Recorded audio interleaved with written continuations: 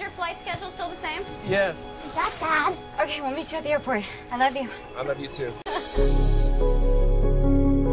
for immediate loading and unloading of passengers Excuse me. Mr. Anwar El Ibrahim? Yes. Sir, we have an emergency message for you. What is it? Is this my Please wife? Is she all right? Where is he? I don't know. What do you want to do? We can't hold him here. Put him on a plane. So who do we have over there? Douglas Freeman. You think you can do this? So you're staying to observe. The work we do is sacred. We save lives. No one has told me why I'm here or what I've done. This is crazy!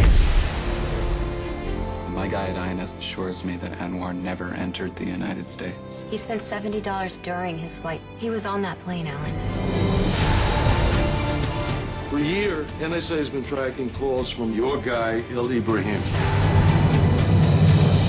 CIA calls it rendition. Basically, the government has authorized the transfer of anyone they think might be a terrorist to prisons outside of the U.S. Prison. Explain the phone calls and we can all get out of here. I can't. Explain the phone calls. What if the press were to get hold of this dedicated family man just squirreled away to God knows where? He's not giving us any answers. It's not working. This is my interrogation. You observe nothing more. I need someone to look me in the eye and tell me exactly what it is they say he's done. If we're gonna get into a fight about rendition, it's gotta be a watertight case. And this ain't it. Back off! There are 7,000 people in central London alive tonight because of information we elicited just this way. Please don't walk away from me. You have my husband. Just tell me!